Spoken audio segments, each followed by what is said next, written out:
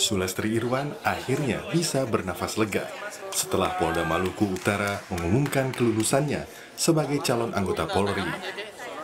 Selain Sulastri Irwan dan keluarganya, pengumuman itu pun disambut hangat oleh Rahima Melani, calon siswi yang namanya menggantikan Sulastri Irwan sebelumnya.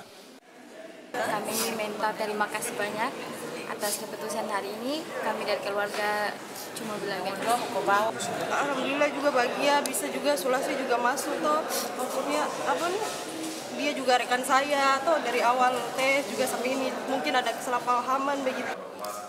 Atas kejadian itu, Polda Maluku Utara menyampaikan permohonan maaf karena telah menggugurkan calon siswi pendidikan pembentukan Bintara melalui jalur kompetensi khusus bidang yang telah lulus pada tahap pemantauan akhir dan menggantikan dengan peserta lain.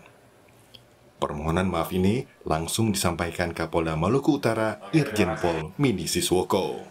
Dengan beberapa pertimbangan dan diskusi kita dengan Polri, kita sampaikan di sini untuk Mbak Sulastri dan Mbak Rohimah dinyatakan lulus.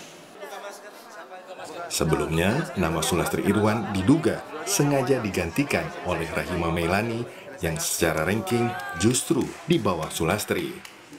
Namun, hal tersebut dibantah Polda Maluku Utara jika Sulastri sengaja digugurkan dan diganti dengan keponakan perwira Polri. Agus Supriyanto, Kompas TV, Ternate Maluku Utara.